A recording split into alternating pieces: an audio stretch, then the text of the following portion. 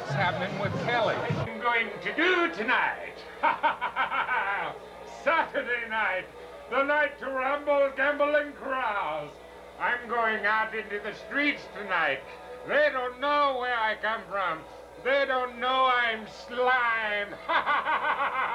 they don't know how I would like to demean them and debase them. But tonight, I will do none of that. I will mind my own business.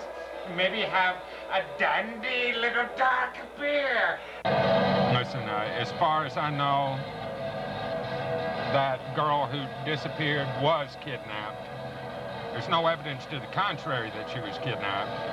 And what they're going to do with her, my bet is that she'll be turned into a sex slave, a cocaine addict, or hardcore pornographers.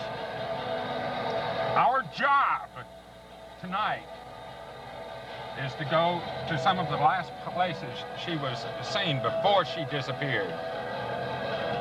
And uh, just see what we can see.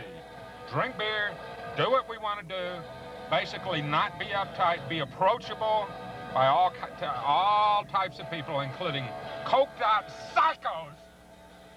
And um, maybe somehow we'll glean some speck, some speck of information that will help us to find her and save her from these ignominious pornographers from hell.